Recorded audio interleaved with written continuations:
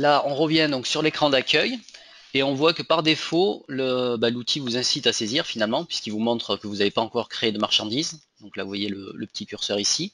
Mais vous pouvez donc également les créer via le bouton qui est toujours présent, celui-là, en haut. Là, retenez là, à chaque fois, vous aurez les, les, boutons vous permettant d'interagir qui sont situés sur cette zone. On va saisir la première marchandise.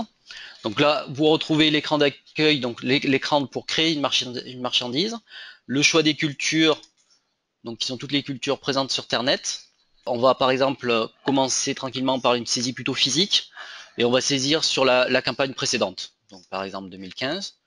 Là, la quantité estimée, donc bien évidemment, là, vu qu'on saisit a posteriori, on la connaît puisque c'est la, quantité qui a été récoltée. Si vous saisissez pour une campagne euh, à venir, c'est bien sûr la quantité estimée que vous pouvez changer de toute manière au cours de l'année sans souci. La base, donc qui est pareil, la base estimée, euh, bien évidemment, elle peut varier euh, en fonction des prix physiques auxquels vous vendez, mais c'est une base qui est importante pour le calcul, on verra tout à l'heure, par rapport au marché à terme de tout ce qui est le prix potentiel. Mais sur le même principe, vous pouvez la changer en cours d'année.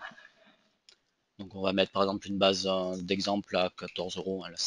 Donc prix objectif de prix de vente, là il faut le voir comme un palier, un seuil qui reviendra assez fréquemment dans des graphiques pour vous montrer à quel niveau vous aviez visé. Par exemple, ça peut être à la fois votre objectif de prix de vente, mais pourquoi pas votre coût de revient. Euh, là, c'est souple, hein, vous pouvez mettre la valeur que vous voulez. Donc, on va estimer, on va mettre 180 euros. Et voilà, et là, on va voir donc que par défaut, on arrive sur l'écran de détail de, de, ma marchandise. Et là, on voit que le fil d'arrière en haut, c'est complété.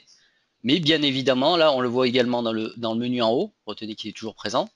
Mais je peux également revenir via ce menu à l'écran d'accueil et on va voir que voilà, là on a une ligne qui s'est mise avec tous les éléments que j'ai saisis, la récolte, quantité et la base. Bien évidemment, vous pouvez aller sur le détail et revenir sur l'écran de détail de la, de la stratégie.